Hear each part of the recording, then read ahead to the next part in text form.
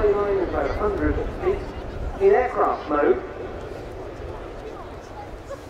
You'll soon see the transformation. Those huge propellers slash rotors are 11.6 metres or 38 feet in diameter each.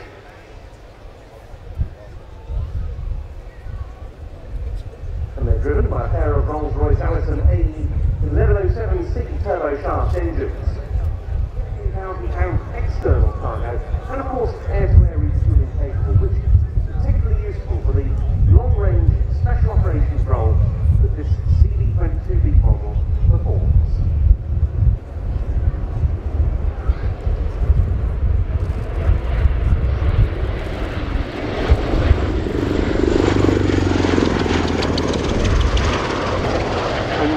Are, starting to see the transition into helicopter mode with those rotors in those huge nacelles tilting.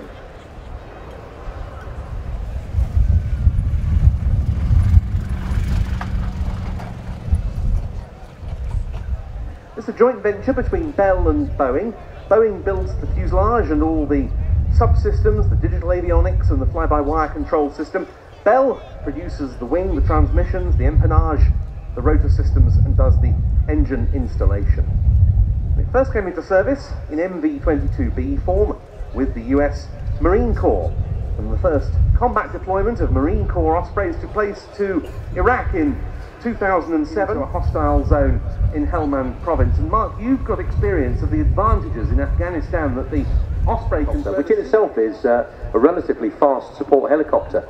But uh, about three months into the tour, the Osprey arrived, and what would normally have been a two to three hour transit uh, turned into something that was about an hour to an hour and a half.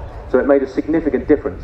There's also a good force protection lesson there as well, because you spend less time exposed to small arms fire uh, and in harm's way. And also this aircraft very, very capable, even hot and high, of climbing above 3,000 feet. This CV22 model called Long Range Missions is US Special Operations Infiltrates those forces into the battle zone, resupplies them once they're there, and then exfiltrates them afterwards. It's got a combat radius of 500 nautical miles with a single internal auxiliary fuel tank, but MC-130 Special Operations Hercules variants can air-to-air refuel the Ospreys, giving them a range of more than 2,000 nautical miles and up to five hours endurance. And there's a range of capabilities that can be brought to bear by the Osprey crew. Pilots and two flight engineers. Terrain.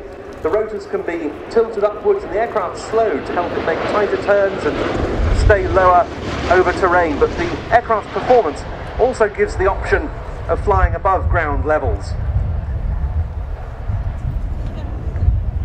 So that was the final pass by the Bell Boeing CV-22B Osprey of the 7th Special Operations Squadron of the US Air Force at Mildenhall.